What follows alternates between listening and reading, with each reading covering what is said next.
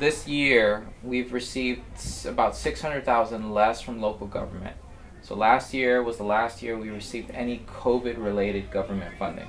When COVID was going on, they were just pouring money out for services, whatever. They had the money for it, which was great. This year, because there's no more uh, COVID funding, we're, we're receiving about $600,000 less in funding from local government. So already it's a tight year.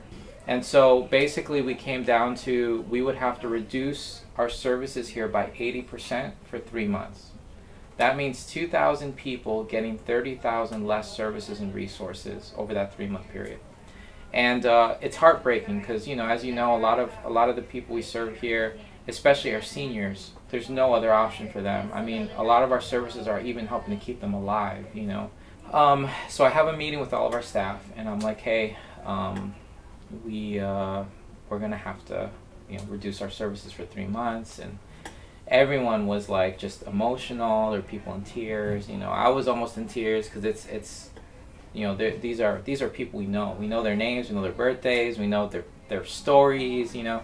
So anyway all the only thing we could do was pray you know that's all we had. I mean we there was no other way. During this time around the same time all this was happening um, someone saw our trailer out in Sanford, which is like 30 minutes north of Orlando, and uh, they were like, "Oh man, I, I like this. I want to talk to them and see how I can I can help and help expand the mission here in Sanford, whatever."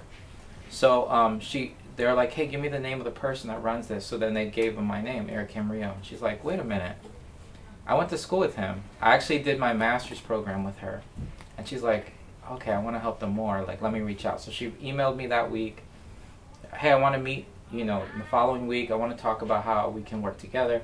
I thought she was reaching out because there are all these news stories going out about how we're shutting down. She hadn't even seen any of that. She had no idea any of that was happening. So we're, we're meeting the next Thursday. The Wednesday night before, she sees a news story. She's like, wait a minute, like, okay, we got to see how we can help. So she emails her family. It's a family foundation. How can we, how can we um, support them, whatever? So they're like all thinking about it. So we have our meeting on Thursday, and I explain everything that's going on with her, with with Salt, and um, she's like, "Hey, I have a board meeting soon. I'll, I'll share with my family, and we'll see what you know what we can do." And so um, when she walked into that board meeting, her father came to her and was like, "Okay, how much do they need, and when can we get it to them?" So they ended up giving us a check for three hundred thousand dollars.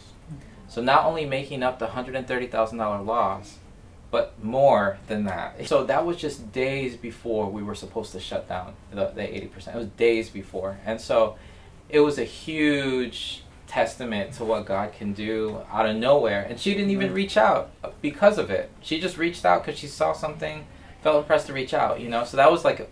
It's like even more confirmation that God was involved. And I just love how he works. Like you met, you had this uh, acquaintance, had no idea, you know, that God was gonna work. A few years later, it was like, hey, you guys met for a reason. Yeah. In a couple years, Yeah, right. gonna- We were in our master's program together, which was an all online program. We Oh, never met in person. Yeah. She just saw my name. She's like, I went to school with them. oh him. no. That like that's it. You know, like it's just got the way God Yeah. organizes everything yeah, that's so for the exact moment. We had when the news found out we are shutting down, they all did news stories about us shutting down.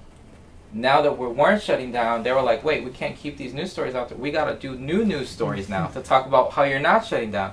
So then they all six did news follow-up news stories about what God did to keep us open. And some of the news stories included what we talked about with God, some didn't.